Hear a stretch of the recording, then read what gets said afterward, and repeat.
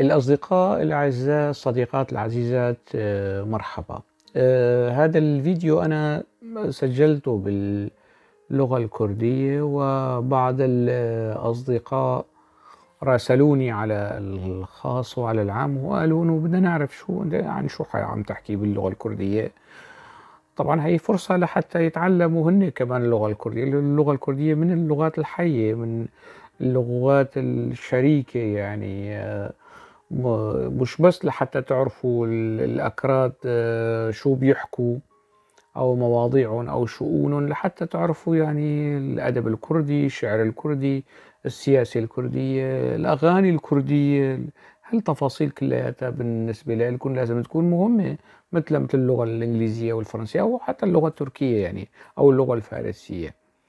فالفيديو آه، كان عن حزب العمال الكردستاني آه، قصتي التي آه، أشتغل عليها ويعني أنشر فيديوهات باللغة الكردية والعربية حول التجربة السياسية ومدى يعني عبث هذه التجربة بالواقع الكردي وبالواقع السوري وما ترتب على ذلك وما انعكس من من من نتائج كارثية يعني على الواقع الكردي بالدرجة الأولى. فالفيديو كان عن هذا الحزب وضمن هذا الحزب كان عن صبري أوك. صبري أوك هو أحد القيادات البارزة في هذا الحزب ومسؤول الأمن وملف الأمن والاستخبارات في هذا الحزب يعني منوط بصبري أوك. آه، هذا الشخص آه، جرى الحديث عنه آه، قبل سنتين أو أكثر أو أقل آه، عندما تحدثت عنه أنا في على حسابي على الفيسبوك إنه الأمريكيين طالبوا مظلوم عبدي آه، قائد قوات سوريا الديمقراطية بإخراج صبري أوك وبحدود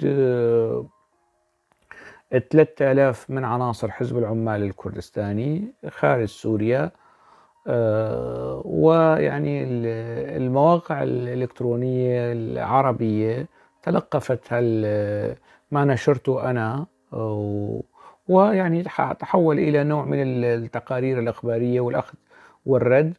آه، طبعا آه، العناصر حزب العمال الكردستاني والمواقع الإلكترونية والصفحات والحسابات هاجموني وشتموني بهذا الخصوص ونفوا. نفوا الموضوع إنه لا يوجد شيء من هذا القبيل وهو شنق بيحكي من يعني من من بنات أفكار وما في ما في هيك قصة. يعني ما لا الأمريكيين طلبوا من يعني لم ينفوا وجود صبري أوك في تلك المناطق لكن نفوا إنه الأمريكيين طالبوا مظلوم عبدي. ومهم فيما بعد مظلوم عبدي صرح لي مركز الأزمات الدولية وما يعني مقره في بروكسل. آه، إنه نعم الأمريكيين طلبوا هيك شيء. فاللي طلع بسواد الوش ويعني آه، آه، هن هؤلاء اللي استهدفوني وهاجموني وكذبوا ما ما ذكرته. و وقت ذاك جرى يعني تداول اسم صبري أوك بكثرة. الإعلام التركي بيحكي أحيانا عن صبري أوك ويتجاهله أحيانا أخرى. آه هذا موضوع آخر لكن من هو صبري أوك؟ الفيديو السابق الفيديو اللي باللغة الكردية آه حاولت يعني آه أسلط الضوء على هذه التجربة وعلى هذه الشخصية ودورة و وأهمية دورة داخل حزب العمال الكردستاني. كيف يعني كان وكيف صار آه، صبري أوك. وسأحاول في هذا الفيديو أيضا تلخيص الموضوع. آه، طبعا أنا لا دائما أتحدث عن التلخيص لكن لا أجيد التلخيص في في قضايا تستوجب الإسحاب يعني بصراحة. قضية حزب العمال الكردستاني والدور اللي لعبه خلال الفترة خلال الأربعين سنة الماضية ككل فيما يتعلق بالوضع الكردي وخلال العشر سنوات الأخيرة فيما يتعلق بالوضع الكردي في سوريا يعني شيء آه، كارثي. ف آه، يعني أستميحكم عذرا على الإطالة في في هالصدد. آه، صبري آه، هنالك يعني هو من الشخصيات اللي يكتنفها الغموض ربما من طبيعة دوره الأمني يتطلب ذلك لأنه آه، مسؤول ملف الأمن والاستخبارات داخل حزب العمال الكردستاني ومسؤول علاقات خارجية كمان. وكان مسؤولة منظمة حزب العمال الكردستاني في أوروبا آه، في فترة 2010 2011 يعني في فترة هيك فترة تواجده في أوروبا كان مسؤول المنظمة آه، وهي يعني منظمة كبيرة. تشمل كل البلدان الأوروبية من إسبانيا وحتى الدول الإسكندنافية يعني وبالإضافة إلى بريطانيا. ف آه، صبري أوك من هو؟ يعني أنا حاولت أدور من أي منطقة من أي قرية من أي آه، لكن لم أعثر. من الشخصيات اللي بيكتنفها غموض داخل حزب العمال الكردستاني مثله مثل دوران كالكان عباس كمان يعني شخصية غامضة. في هذا الخصوص. عباس يعني عرفنا أنه مش كردي. هذا كردي. آه، صبري. هنالك من يقول أنه من أضيمن وهنالك من وصلني يقول من منطقة ديار بكر وأنا أرجح يعني منطقة أضيمان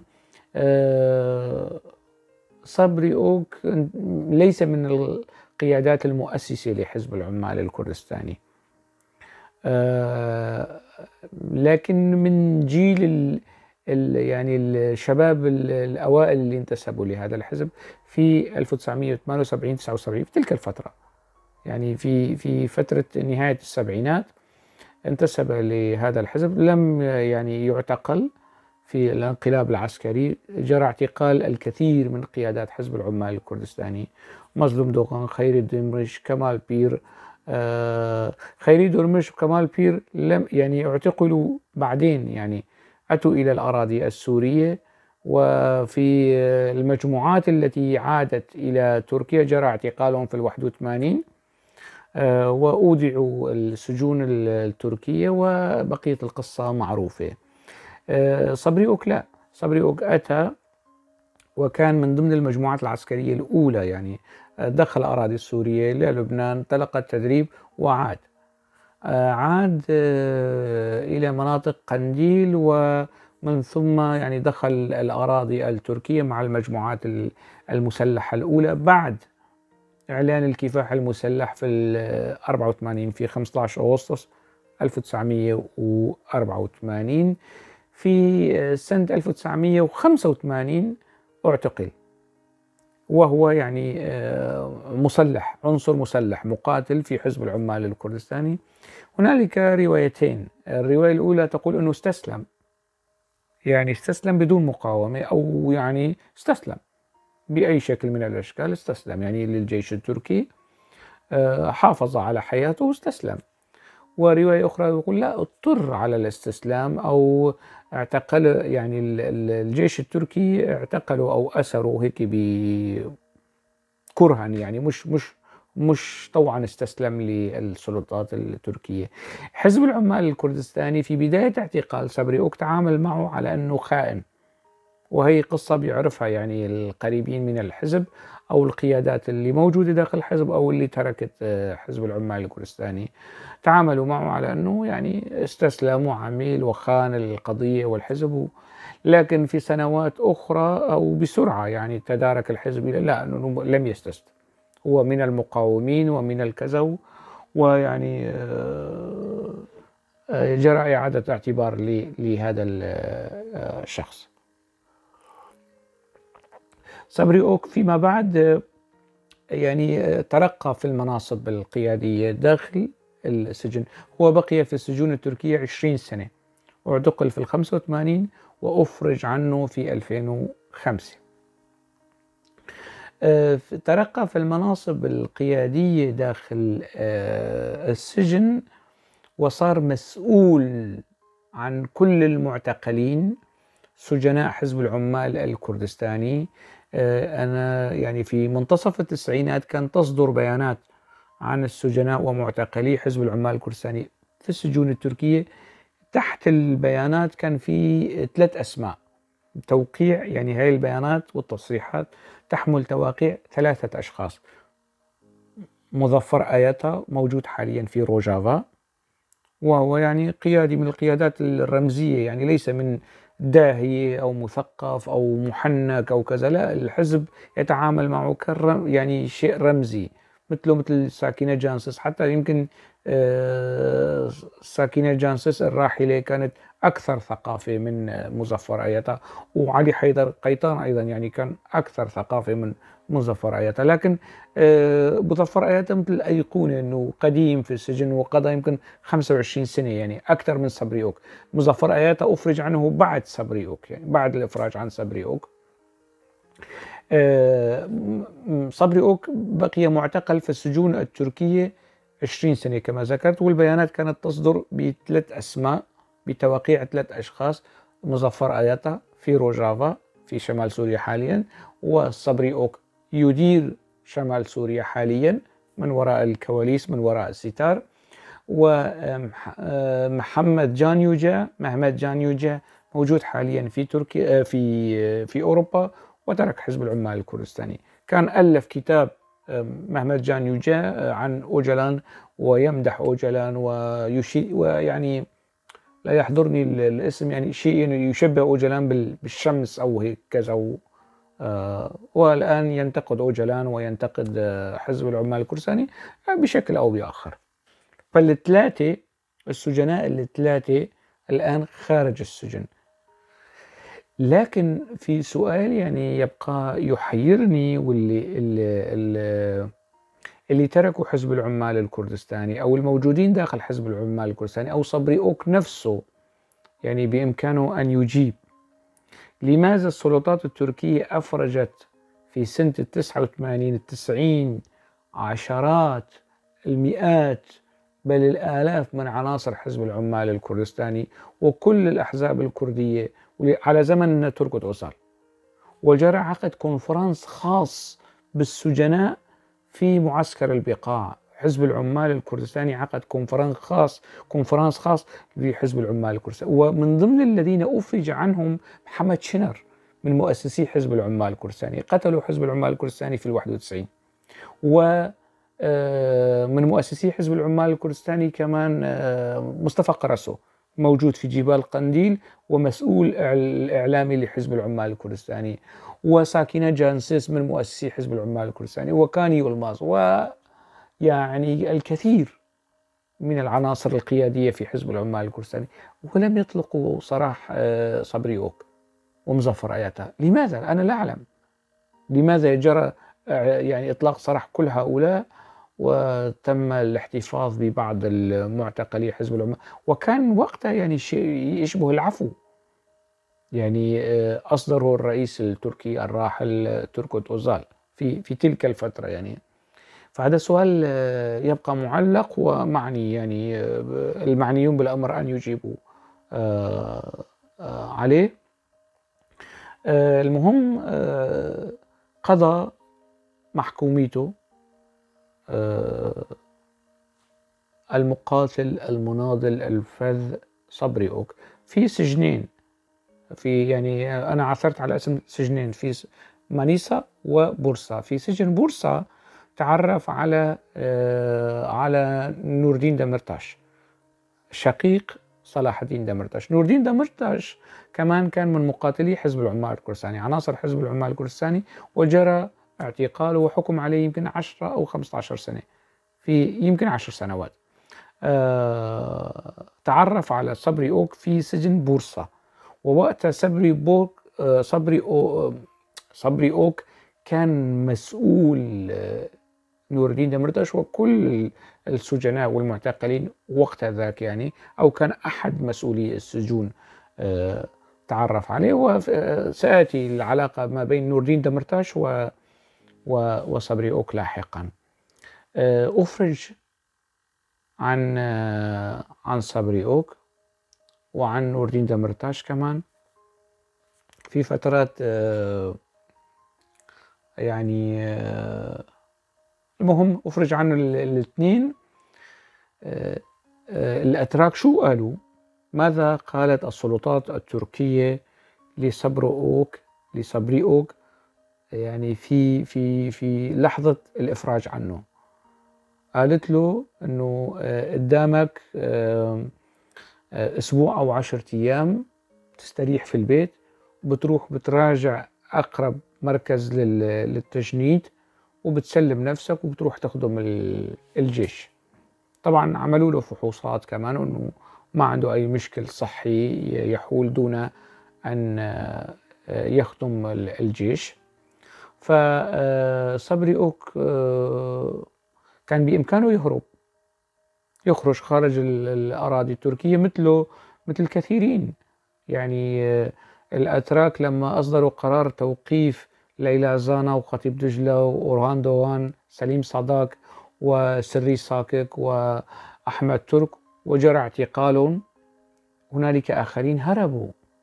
زبير أيدار محمود قلنج آه مين كمان آه يعني آه رمزي كارتال يعني أكثر من 10 إلى 12 شخص من البرلمانيين الأكراد في البرلمان التركي هربوا.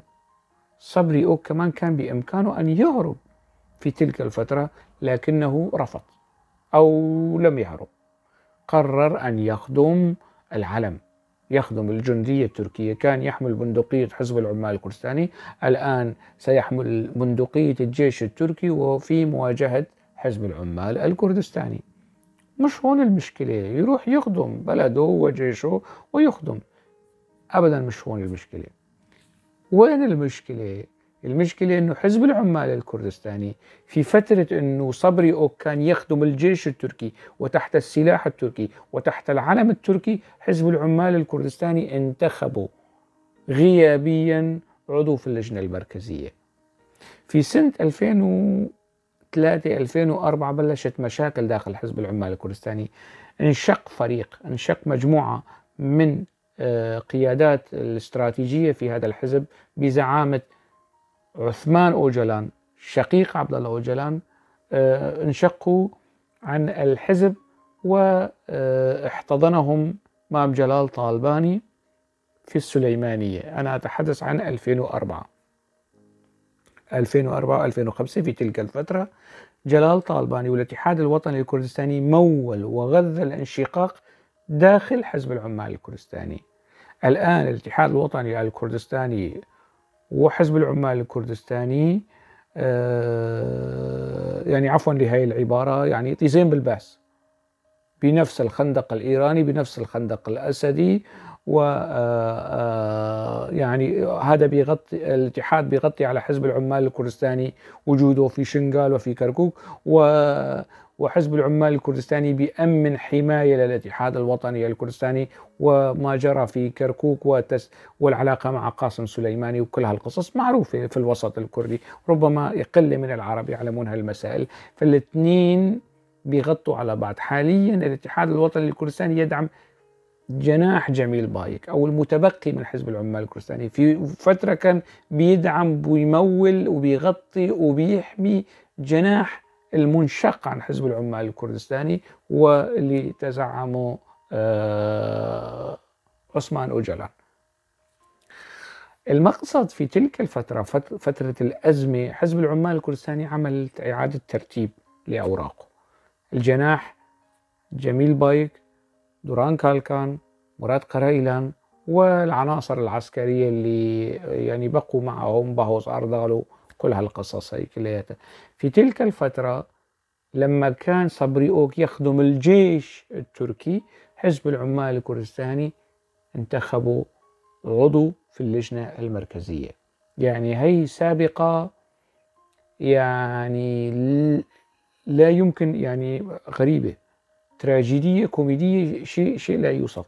يعني الأخوة الفلسطينيين لنفترض أنه مثلا الجبهة الشعبية أو الجبهة الديمقراطية أو حركة فتح ينتخبوا آه، شخص مش في السجون الإسرائيلية لا. يخدم في الجيش الإسرائيلي ويروحوا ينتخبوه عضو في اللجنة المركزية أو في في الهيئة التنفيذية لمنظمة التحرير الفلسطينية. تصوروا يعني أنه يصير نفس القصة أنه حزب العمال الكردستاني المعارض واللي يفترض أنه يقاتل الجيش التركي ينتخب شخصا تحت السلاح وجندي في الجيش التركي هو صبري أوك عضو في اللجنة المركزية. وصلت الفكرة؟ توضحت يعني كيف كيف الموضوع؟ يعني شيء هيك آه، غريب. إذا انحط في رواية ممكن ما تتصدق يعني. هذا اللي صار. كمان مش هون المشكلة. وين المشكلة؟ وين القصة؟ القصة أنه هذا الجندي اللي خلص العسكرية بسجل نظيف وكان يحمل السلاح في المناطق اللي ينشط فيها حزب العمال الكردستاني وكان ممكن في أي لحظة يجري اشتباك بين الحزب وبين الجيش ويطلق صبري أوك النار على المقاتلين على رفاق القدامى أو رفاق القدامى يطلقون النار عليه وهو داخل الجيش التركي ويقع صبري أوك شهيدا في الجيش التركي برصاص حزب العمال الكردستاني اللي صبري أوك عضو لجنة مركزية فيه. متاهة مش هيك؟ متاهة. متاهة يعني هاي القصة. فالحمد لله يعني يعني آه، ما صار هيك شيء. لكن الرجل انهى خدمته العسكريه بسجل نظيف لا عقوبات لا اعتقالات وحتى حسب المعلومات اللي وردتني أنه صبري اوك عندما كان يزور أهله كان يحظى بنوع من من الحماية الغريبة يعني لا يحظى فيها الا الا ضباط الأمراء. هيك حماية لا يحظى بها إلا ضباط الأمراء. مش يعني عنصر أو جيش أو عنصر يعني جندي عادي أو أو ضابط صف أو يعني لا لا يعني شيء غريب. على عهدة الراوي والراوي اللي ذكر لي هاي المعلومات مقرب من حزب العمال الكردستاني ومطلع على هالمسائل هيك عموما مش هون كمان القصة. وين القصة؟ لأنه الموضوع مضحك مبكي.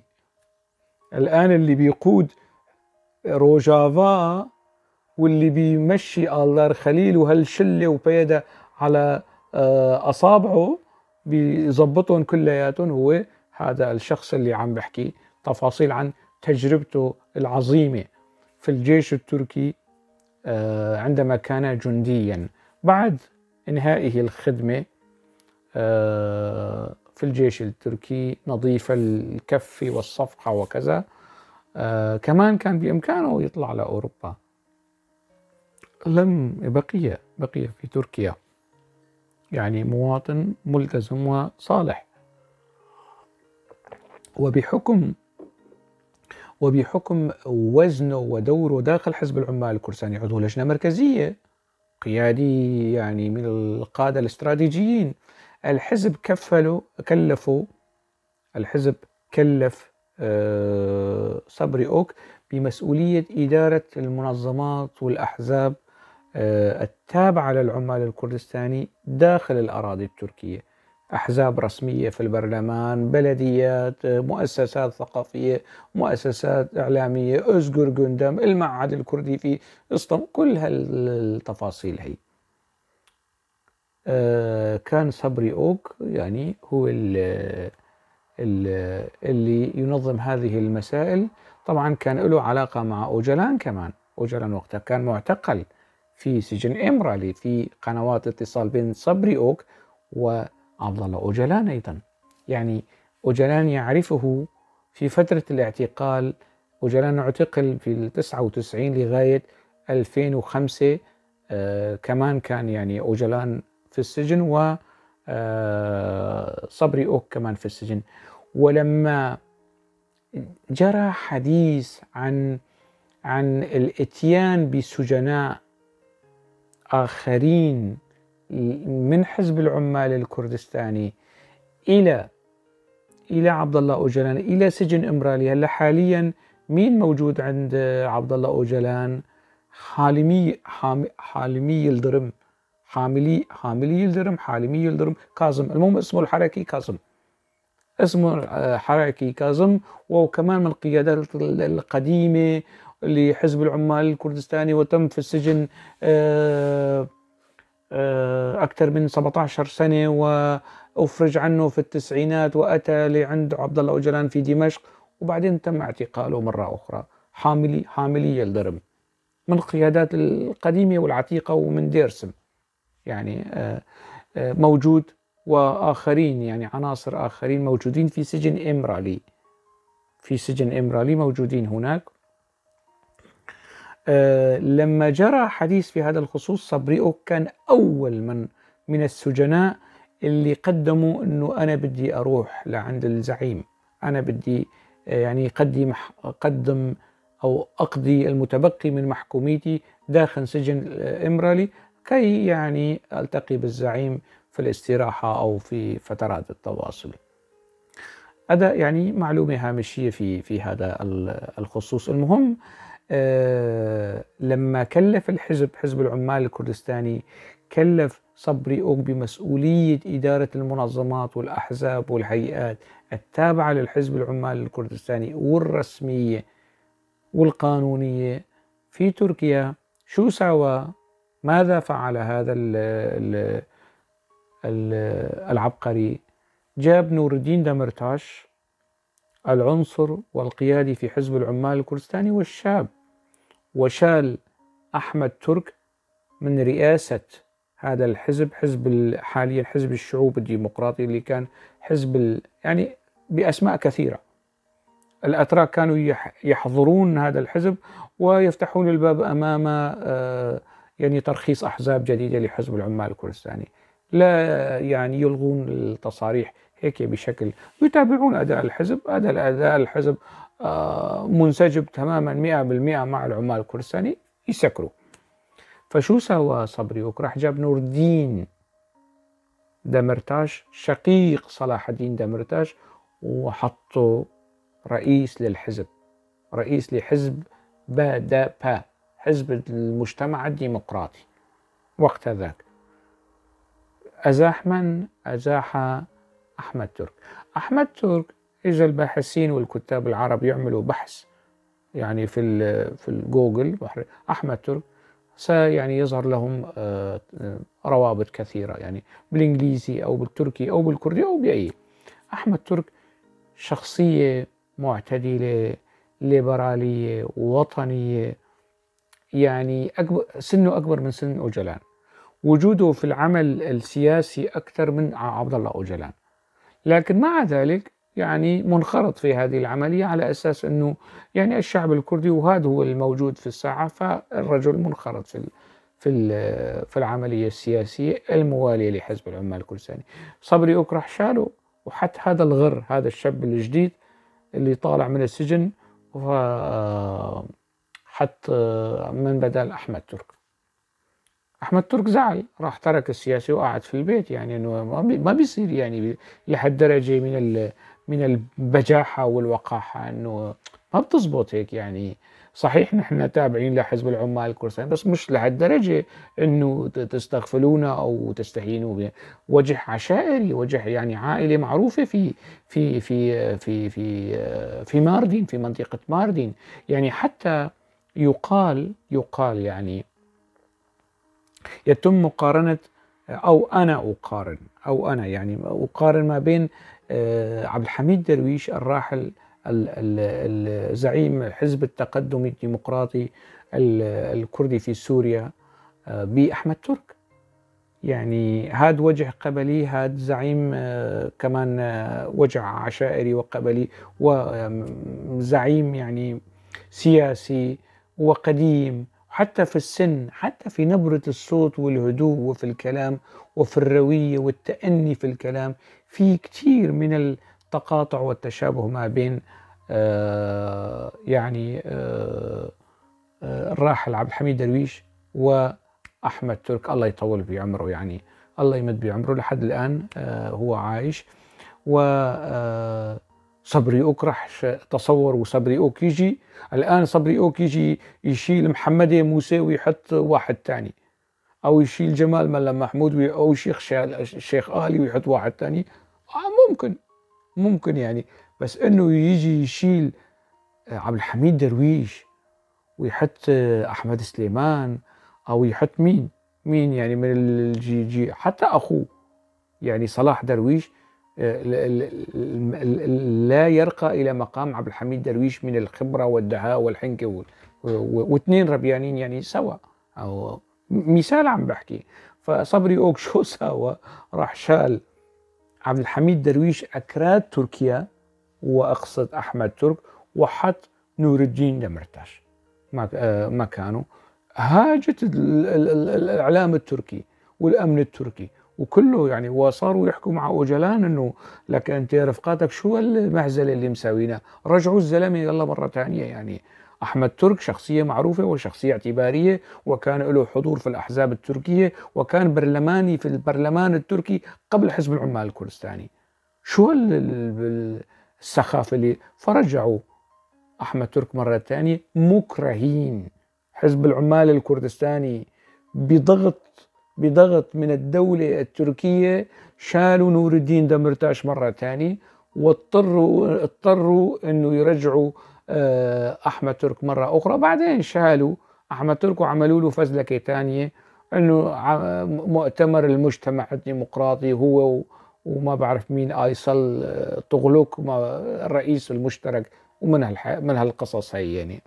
فهي إحدى وفي الانتخابات البلدية سقط الحزب وتم حظر الحزب. المهم هالقصص هي كلها يتحمل مسؤوليته. مين؟ صبري أوك. بحكم أنه هو صاحب هال الأفكار النيرة والاقتراحات النيرة. وقت ذاك داخل الأراضي التركية. في في 2009 جرى نوع من الحلحلة والانفتاح الكردي والنوع من التفاوض ومجموعات السلام والقصص هي كلياتها بتعرفوها. ما بعرف المعنيين والمختصين بيعرفوا الفترة هي آه، في العلاقة ما بين حزب العمال الكردستاني والدولة التركية والنظام التركي. آه، حتى تلك الفترة كان آه، صبري أوك داخل الأراضي التركية. فيما بعد فشلت هذه العملية. طبعا فشلت بتدخلات خارجية من قيادة قنديل. أفشلت عملية التفاوض وكان تلك العملية تجرى أيضا في أوسلو. يعني في نوع من التفاوض السياسي خارج تركيا في أوسلو وفي نوع من الحلحلة والمبادرات الإيجابية من الحكومة التركية ومن حزب العمال الكردستاني. جرى اشتباك مسلح تم نسف العملية وعادت الأمور إلى المربع الأول. وحملة اعتقالات جديدة طاولت الكثير من رؤساء البلديات وحظر الحزب وكل القصص المعروفة وقت ذاك. صبري أوك اضطر للهرب. الآن صار بده يخرج. صار بده يعني وأيضا صار ملاحق. مذكرات اعتقال بصبري أوك لأنه الأتراك بيعرفوه. هو الذي يدير العملية. فجرى يعني إصدار مذكرات اعتقال بحق صبري أوك صبري أوك هرب إلى أوروبا. فترة قصيرة تم في 2010 مطلع 2010 تم في أوروبا. وعاد إلى جبال قنديل. كمان فترة قصيرة في جبال قنديل. رجع إلى أوروبا واستلم إدارة منظمة حزب العمال الكردستاني في أوروبا. وفي آه، 2011 جرى نوع من يعني أيضا الجولة الأخرى الجوله الثانية من المفاوضات بين حزب العمال الكردستاني والدولة التركية في أوسلو. كان مندوب حزب العمال الكردستاني وقت ذاك صبري أوك.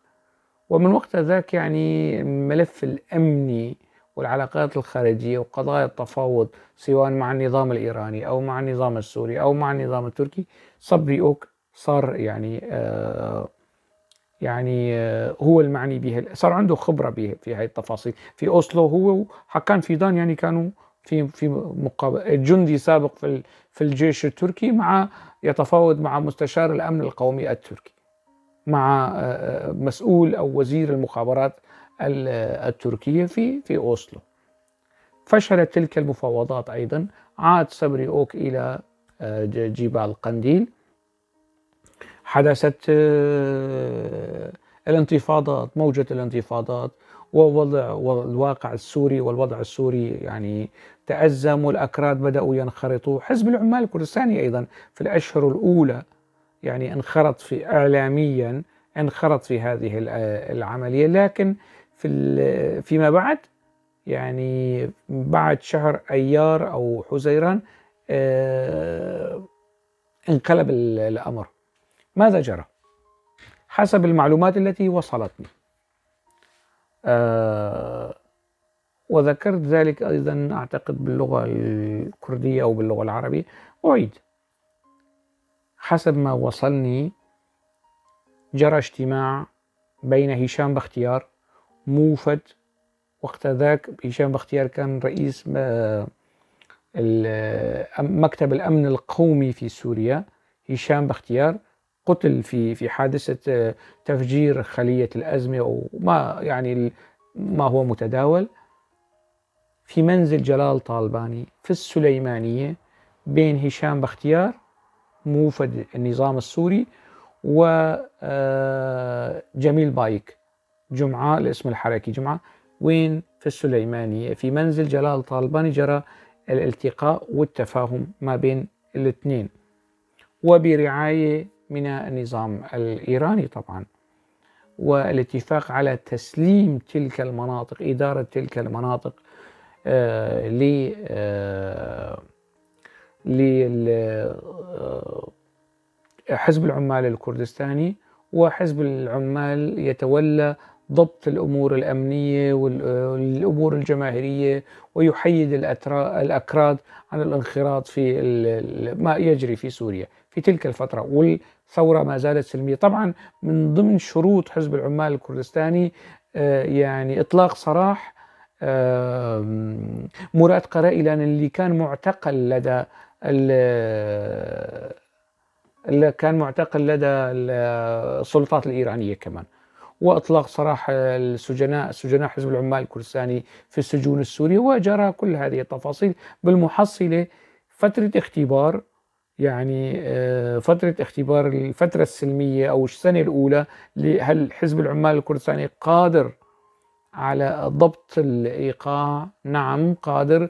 وقام بحتى لدرجة يعني ارتكاب مجزرة في العامودة واختطاف نشطاء واغتيال نشطاء آخرين. كل هذه التفاصيل أنه فعلا أداء حزب العمال الكردستاني في السنة الأولى كان جيد. فالنظام قرر تسليم السلطات في 2012 تماما لحزب العمال الكردستاني والحفاظ على مربع أمني في هذا المخطط.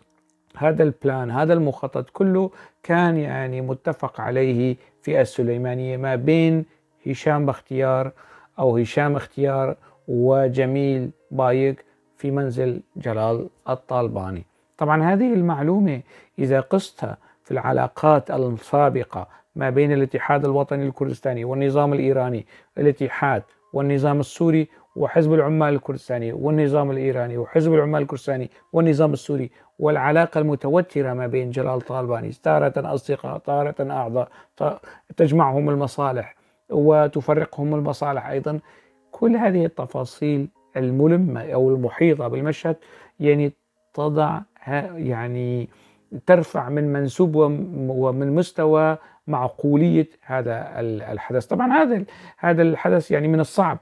يعني أن أتأكد منه سواء من حزب العمال الكردستاني أو من آه، آه، أو من آه، يعني الاتحاد الوطني الكردستاني لأنه أنا شخص مغضوب عليه من من الحزبين. فصبري أوك ممكن أن يكون هو كمان حاضر في هذا الاجتماع. ممكن أن يكون حاضر. فيما بعد بأمر من عبد الله أوجلان طلب أنه أن يكون مسؤول المفوض السامي أو المسؤول حزب العمال أو مسؤول روجافا ما يكون من أكراد السوريين. مهما كان ولاءه لحزب العمال الكردستاني قويا آه، لا لازم يكون من كوادر كرد تركيا. هذا بأمر من عبد الله أوجلان واقترح أن يذهب جميل بايك. جميل بايك كان خائف يعني متوجس من الموضوع آه، يتحسب يعني ممكن أن يكون هنالك شيء أو لعبة أو الأوضاع غير مستقرة في سوريا. آه، آه، مستوى حزب العمال الكردستاني شعبية حزب العمال الكردستاني تراجعت. لابد من من من تمهيد التاريخ وتعبيد التاريخ من أرسل؟ أرسل مصدوم عبدي.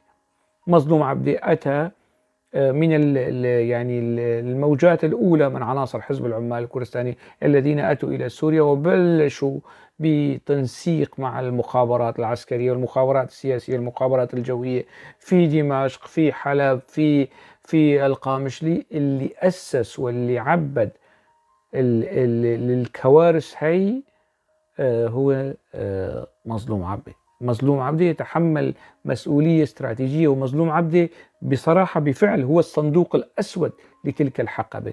لديه كمية مهولة وهو يعني لذلك هو مهدد. الآن هو مهدد ومحاصر من قبل حزب العمال الكردستاني ويعني لأنه حزب العمال الكردستاني دائما يعني يريد أن يتخلص من الأشخاص اللي آه، يكونون شهود. يعني مصدوم عبدي الآن إذا شهد وقال بإمكانه أن يحكي الكثير من التفاصيل.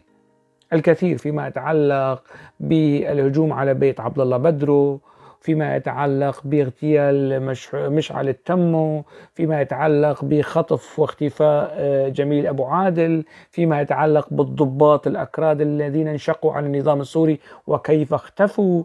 كل هذه الأحداث الغامضة الموجودة في تلك المناطق التي جرت في هذه تلك الصندوق الأسود هو مصدوم عبدي. لذلك يعني يعني من الضروري جدا أن يحافظ مظلوم عبدي على حياته وأن يحافظ الأمريكيين عن حياة هذا الشخص لأنه حزب العمال الكردستاني متى ما رفع الأمريكيين يدهم رفع الأمريكيون يدهم عن مظلوم عبدي سيلتحمه حزب العمال الكردستاني في في اللحظة والتو.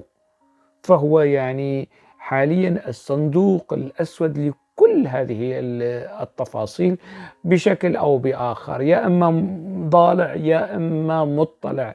لأنه استلم المهام الأمنية وكان يدير المهام الأمنية في فترة وقتها لم يكن صبري أوك متمكن بتلك القوة والقدرة التي يمتلكها حاليا.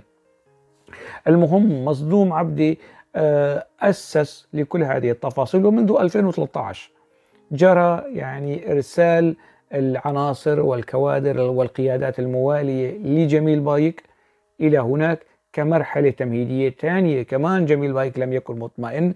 لماذا يذهب جميل بايك مباشرة إلى هناك؟ يعني آه لم يمتثل لأمر أوجلان فأوجلان اقترح صبري أوك.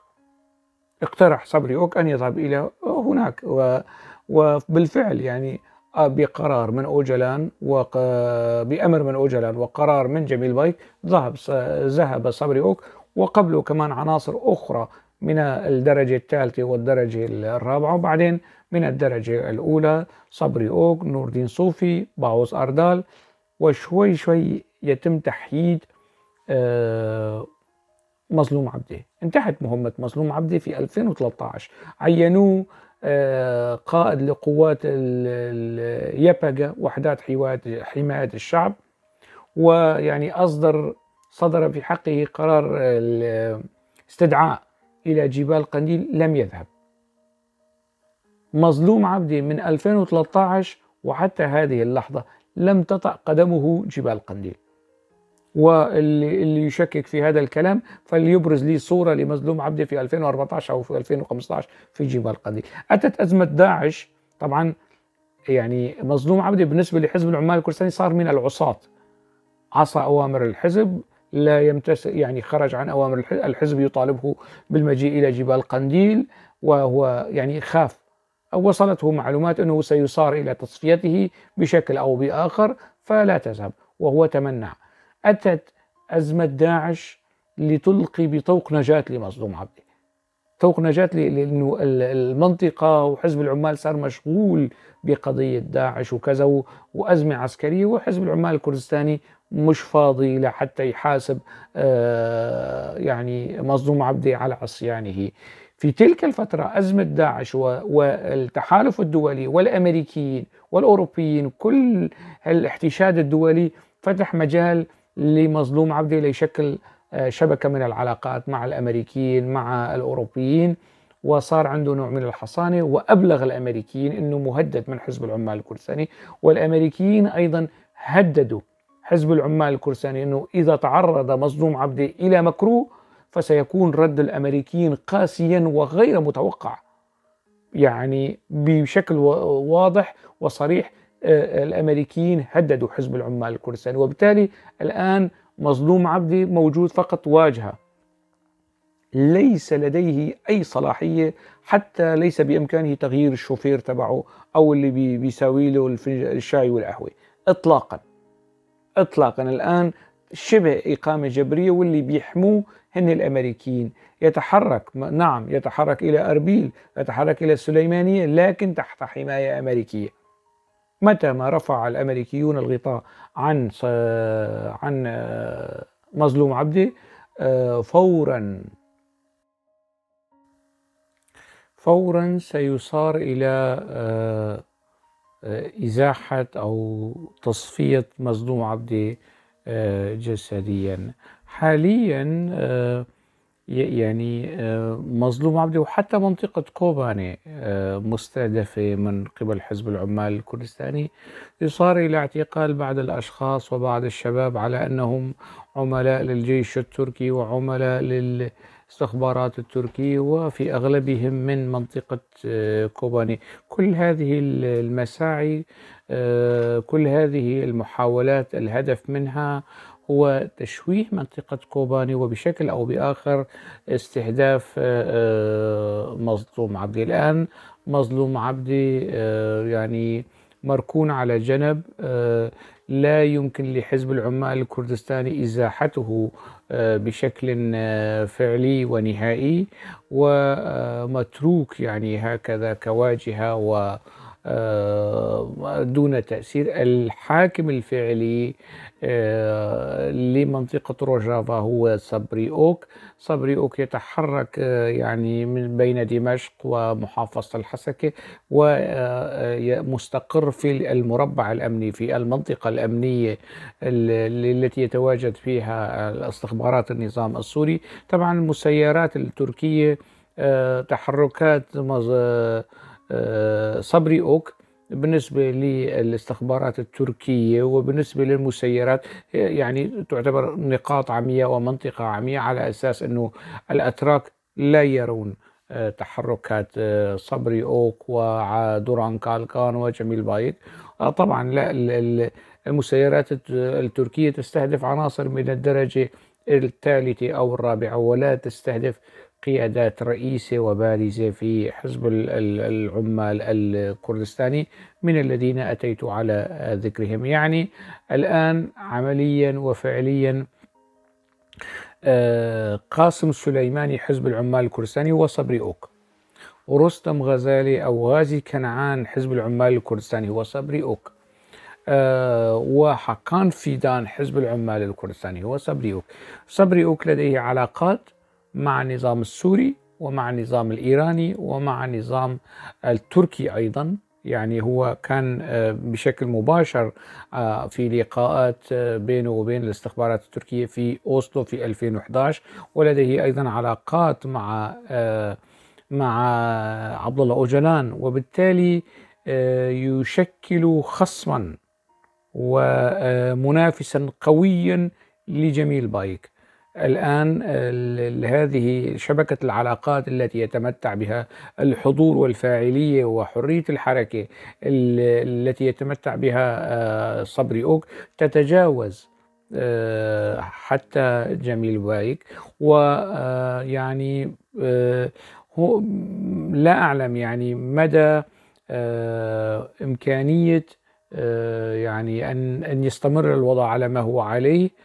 في حال يعني تغير في الموقف الأمريكي، تغير في الموقف التركي، واقع الحال آه، الآن حاليا في روجافا الذي يدير العملية والذي يقود المشهد آه، باسم حزب العمال الكردستاني هو صبري اوك الجندي السابق الملتزم في الجيش التركي آه، والسجين السابق لدى السلطات التركية ومعلوم يعني أنه آه، حالات حالات التجنيد وهذا موجود في في في تاريخ حزب العمال الكردستاني أيضا يعني الكثير من الذين من القيادات حزب العمال الكردستاني وحسب رواية وحسب تاريخ حزب العمال الكردستاني إنه جرى تجنيد أثناء فترة الاعتقال.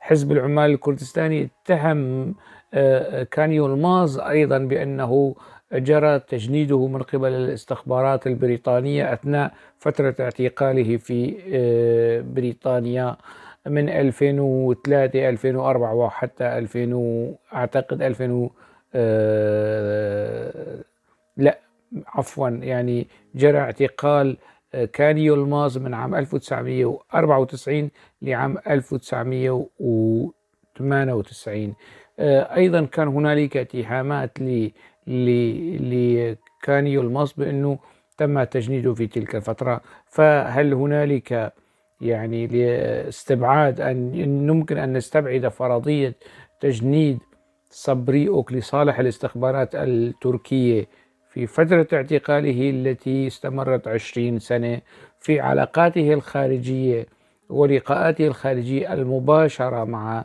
مع الاستخبارات التركية. هذا أيضا آه، سؤال يمكن طرحه. أصلا أصلا آه، يعني تحوم الشبهات الكثيرة عن عن حزب العمال الكردستاني بشكل عام وقياداته جميل بايك ودوران كالكان وصبري وحتى عبد الله أوجلان.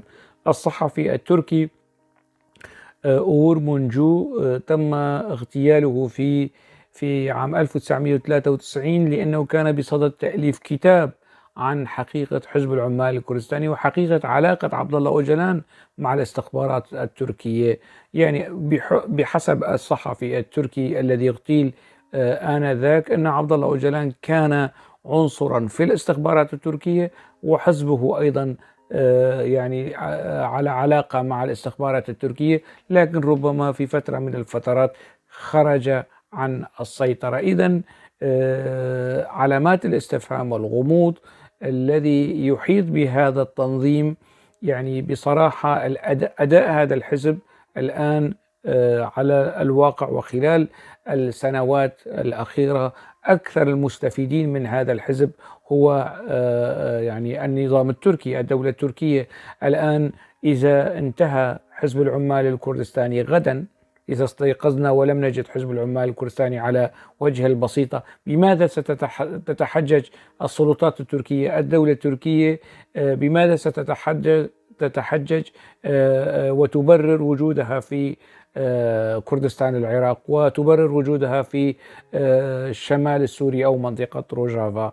يعني لا يوجد هنالك حجة أقوى وأفضل من وجود حزب العمال الكردستاني. وجود هذا الحزب حاليا أكثر المستفيدين منه هو النظام التركي وأكثر المتضررين منه من وجوده هو الشعب الكردي والقضية الكردية. دائما السلطات التركية تتحجج بوجود هذا الحزب في كردستان العراق في سوريا والسلطات التركية تعلم حق اليقين وجود هذا الحزب في إيران وتعلم الدعم الإيراني لهذا الحزب في فترة الثمانينات وفترة التسعينات وحتى هذه اللحظة، لكن لا يوجد الآن أي شيء أي موقف دبلوماسي، أي موقف عسكري، أي تهديد عسكري آه، خرج من أنقرة تجاه طهران في هذا الخصوص. دائما التهديدات موجهة إلى كردستان العراق وإلى العراق وإلى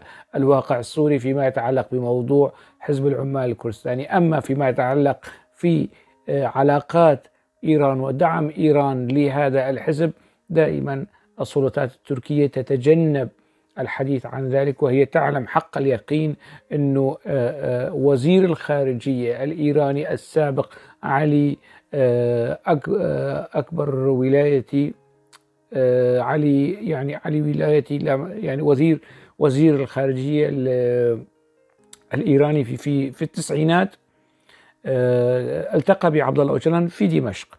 يعني مستويات الدعم وصلت إلى هذه الدرجة لكن السلطات التركية لا في الثمانينات لا في التسعينات لا في هذه اللحظة في زمن يعني حكومة حزب العدالة والتنمية من 2002 وحتى 2022 يعني 20 آه، سنة لا يوجد هنالك أي تهديد الإيرانيين لا يوجد هنالك أي احتجاج لدى منظمة التعاون الإسلامي لدى يعني أي قواعد التعامل بين الجيران والتحديد الأمن القومي آه، التركي فيما يتعلق بدعم حزب العمال الكردستاني. لا يوجد أي احتجاج من السلطات التركية اتجاه إيران. لماذا؟ هذا أيضا يعني آه، سؤال غامض آه، أنا لم أجد إجابة آه، عليه. لماذا دائما تركيا تركز على الحدود الجنوبية وتتحجج بحزب العمال الكردستاني رغم أنه هذا الحزب موجود في إيران أيضا ومدعوم شرقا من قبل السلطات الإيرانية. إجمالا صبري أوك حاليا يلعب هذا الدور ويمسك يعني بخيوط اللعبة آه، ومدعوم مدعوم من عبد الله أوجلان ومدعوم أيضا من جميل بايك ويحظى بدعم من النظام السوري أيضا وعلى علاقة بالروس والنظام الإيراني. آه، حاليا آه، هذا هو محل صبري أوك من الإعراب. لاحقا ماذا يحدث لا أعلم صدقا أو صراحة آه، ما هي تبعات أو مآلات آه، دور صبري أوك في آه، سوريا. أكتفي بهذا القدر على أمل اللقاء في موضوع آخر. دمتم بخير.